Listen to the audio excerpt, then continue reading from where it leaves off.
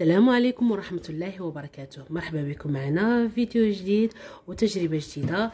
اليوم إن شاء الله الوصفة غتكون خاصة بالوجه والعناية بالبشرة ديال الوجه واللي النتيجة ديالها زوينة بزاف وصفة معروفة قديمة من شحال هادي كيستعملوها آه، يعني الناس واللي هي كتعتمد بالدرجة الأولى على الكركم.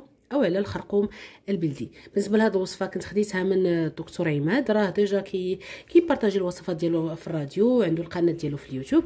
donc فهي وصفة اللي هي زوينة لقات استحسان ديال الناس وأيضا جربتها لقيت آه، لقيت عليها الراحة. هي في البداية من شحال هذه كنت كنستعمل الوصفة ديال الخرقوم البلدي؟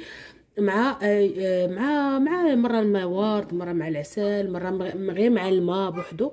وكنت كنلقى يعني نتيجة اللي هي زوينة. donc الآن غن partager ها معكم بنفس الطريقة اللي عرضها اللي عرضها بنفس الطريقة باش عرضها هذا الدكتور. دونك كما قلنا المكون الأساسي اللي هو الكركم أو الخرقوم البلدي. غناخذوا منه واحد المعلقة صغيرة.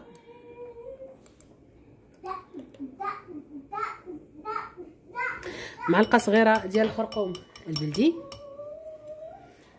غنضيفوا ليها. بالنسبة للياغورت آه، طبيعي. غنضيف لها واحد ثلاثة المعالق كبار ديال الياغورت طبيعي.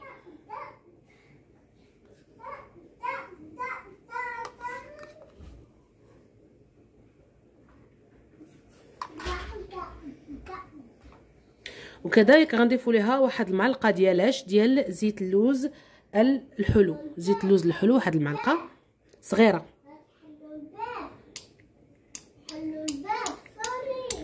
فهمتي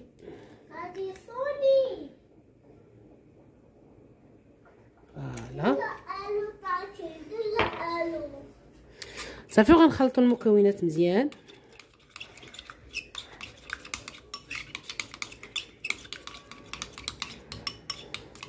voilà حتى كينسجموا المكونات. كيتخلط مزيان داك الخرقوم البلدي مع الياغورت وزيت آه، اللوز.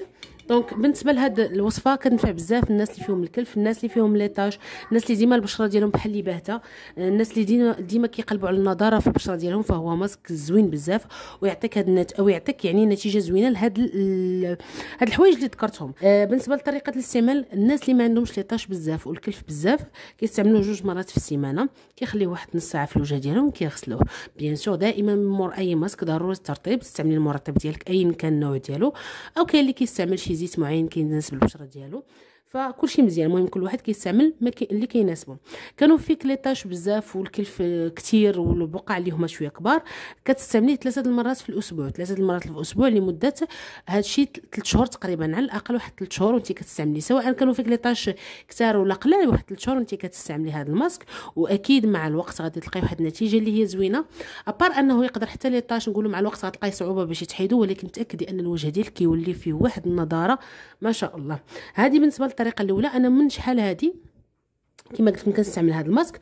كنت كنستعمل فقط غير الكركم وال وال والياغورت. والياغورت مسوس زوين بزاف. أو حتى كما قلنا مع الماء أو مع الماء ورد بالنسبة للناس اللي ما عندهمش زيت الزيتون الدكتور قال أنا ممكن تستبدلي هذا الزيت الزيتون بالماء ديال الخيار. وصراحة أنا الماسك اعتمدت عليه بالماء ديال الخيار لأن الماء ديال الخيار زوين بزاف للبشرة يعني وبالنسبة للحروقات البشرة والمشاكل اللي كتكون في البشرة. وكيعطي النضارة وكيساعد أن البشرة ديما تبقى صغيرة ديما تبقى آه، شابة. المهم عنده بزاف ديال الفوائد كثيره فكنت كنستعمل ما كنستعملش زيت اللوز كنستعمل زيت الخيار وهو الماسك اللي اعتمدت ولقيت عليه نتيجة زوينة. هذا ما كان فيما يخص الماسك ديال آه ديال الكركم كنتمنى تكونوا استفدتوا معنا ونتلاقاو إن شاء الله في فيديو قادم. إلى اللقاء.